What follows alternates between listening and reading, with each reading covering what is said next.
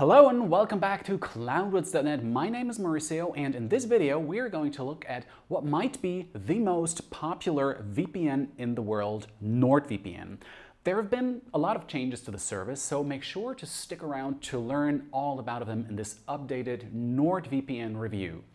Also, you'll learn if NordVPN is really secure and if you can watch Netflix with NordVPN. Also, if you enjoy this video, make sure to subscribe and click that bell to get notified whenever we upload new content here on this channel.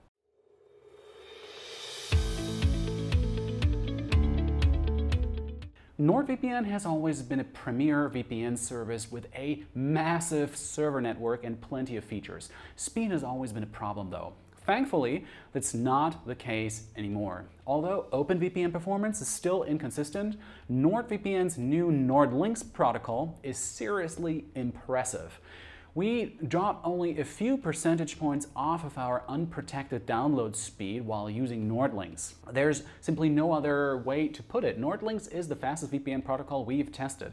It's not the best for all situations though. NordLynx uses the WireGuard protocol, which is still in development. It's the perfect pairing for speed-intensive tasks like streaming, which is an area where NordVPN really shines. Because it's so new though, we recommend OpenVPN if you're tunneling in a risky country, like for example China. NordVPN has plenty of other features to help those users too. Included with your subscription is a range of specialty service. These locations all do something a little different. Some are suited for torrenting, while others will allow you to connect to a Tor network. No matter which you choose, the specialty servers are designed to bypass strict censorship.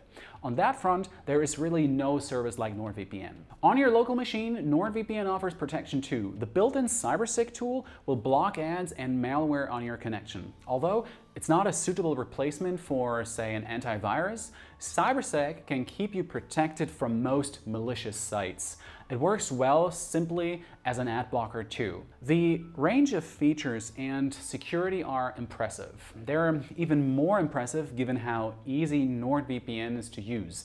Selecting your location is a matter of basically dragging across the large map and clicking a point on it. NordVPN is quick to connect, so the whole process takes really no more than, than a few seconds. NordVPN offers a bit of everything and does so cheaply too. The monthly price is honestly pretty bad. However, NordVPN makes up for it with massive discounts on its multi-year subscriptions. I've put a special sign-up link in the description box below that allow you to purchase two or three years upfront and NordVP, and then NordVPN is less than a few dollars per month. It has a 30-day money-back guarantee too, so basically there's no risk in giving the, the service a try. For the price, you get six simultaneous connections. The standard range of supported platforms are available, including Windows, Mac OS, Android, and iOS. However, NordVPN also supports routers and Linux with browser extensions for Chrome and Firefox. There's even an Android TV app so you can keep your Amazon Fire Stick or NVIDIA Shield protected. Platform support is impressive, but so is server count. NordVPN has a massive server network with nearly six thousand locations. On all of the location feeds are real bare metal servers too. That means you don't need to fuss around with virtual locations that might not work. So NordVPN is the perfect VPN for everything, right? Well, not exactly. It's an impressive service, but it's not without fault. A couple of years back, NordVPN suffered a data breach that potentially exposed user data in a single location. Now, the details are messy, so we recommend reading our written review for a full account of all of it, but, and that's obviously linked below in the description. In short though, the attacker didn't cause any real harm. The problem isn't the fact that there was a data breach. Rather, it's that NordVPN waited a full year before making the details of the breach public.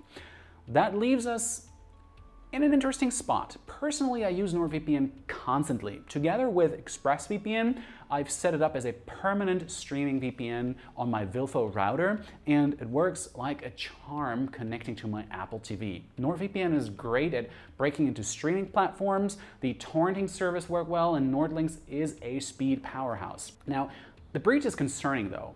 If that's too much risk for you, there are plenty of other options. ExpressVPN, for example, and CyberGhost are good alternatives, and you can find all the resources below in the description and I leave you the ExpressVPN review here above in the card.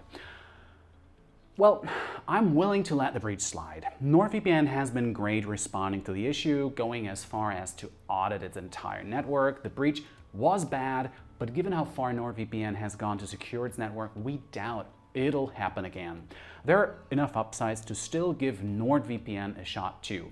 Now, if you want to try out the service, you can sign up using a link in the description below with a full 30 days to change your mind. While you're down there, you can also find a written review. Be sure to leave a thumbs up on this video if you liked it and a comment with your thoughts on NordVPN. I'll see you next time here on Cloudwards.